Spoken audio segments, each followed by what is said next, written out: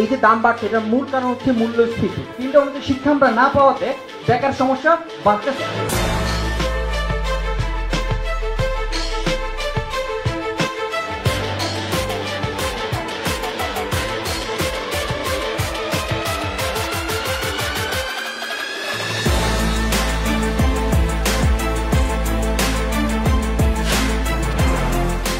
আমাদের তিনজনের একজন হাইট ফোবিয়া আছে। তিনজনেরই সমুদ্র পছন্দ। তিনজনে মুভি পছন্দ করি। তারপর হচ্ছে তিনজনে একটু শর্ট টেম্পার তারপর হচ্ছে যে তিনজনই টেকনোলজি পছন্দ করি। আমরা সব কিছুতেই লেট করে আসি। এরপরে আমরা কেউই ধুম পাই না। আর তিনজনই back bencher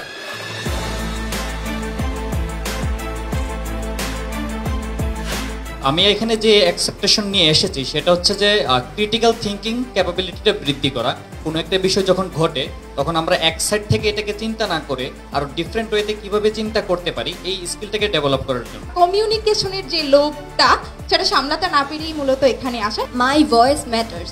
It means whenever I say something in uh, the hot topics or burning issues, then this will be accepted by all of them.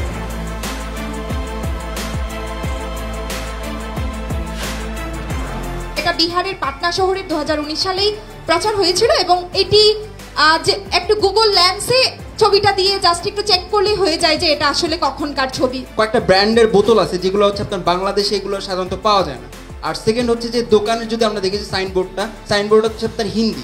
So এটা জাস্ট দু এক মিনিট যদি আমরা ভালো মতো ছবিটা দেখি, তাহলে এটা বোঝা যায়। প্রথমত এআই মানে হচ্ছে আর্টিফিশিয়াল ইন্টেলিজেন্স যেটা দিয়ে এখন মুহূর্তের মধ্যে যে কারোর ছবি অন্যভাবে এডিট করে সেটা ফেসবুকে বা অন্য কোনো সোশ্যাল মিডিয়াতে ছেড়ে দেওয়া হচ্ছে, যেটা ভাইরাল হয়ে যাচ্ছে।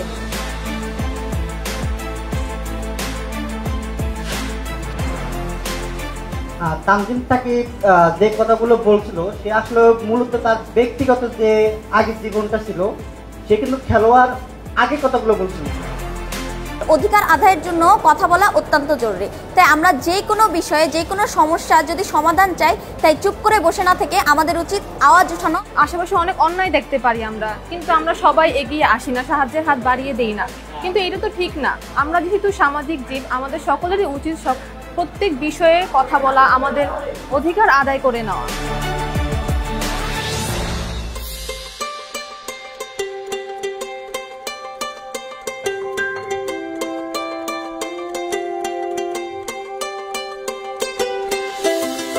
এই যে দাম বাড়ছে, এটার মূল কারণ হচ্ছে মূল্যস্ফীতি। এবং এর সাথে সাথে আমরা যে জিনিসগুলো দেখছি, আমরা দেখছি ভঙ্গুর ব্যাংকিং সিস্টেম গ্রুপ তিনের আমার যেটা খেয়াল লেগেছে সেটা হচ্ছে আত্মহত্যা প্রবণতা যেটা আমাদের তরুণদের মধ্যে এখন খুবই দেখা যায়। বিভিন্ন পাবলিক ইউনিভার্সিটির ভালো স্টুডেন্টরা চলে যাচ্ছে বাহিরে আর মিডল ক্লাসের যে স্টুডেন্টগুলো এগুলো দিয়ে আমাদের দেশটা পরিচালিত হচ্ছে।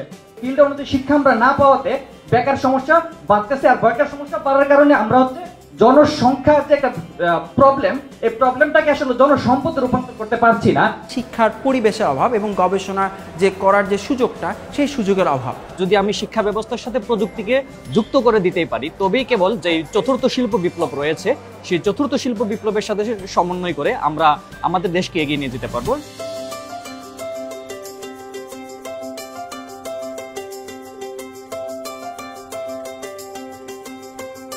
বাংলাদেশের প্রত্যেকটি জায়গায়, প্রত্যেকটি ক্ষেত্রে যে এই দুর্নীতির স্পর্শ রয়েছে। কিন্তু আমি ভবিষ্যতে এমন একটি বাংলাদেশে চিন্তা করি যে বাংলাদেশে এই ধরনের দুর্নীতি থাকবে না।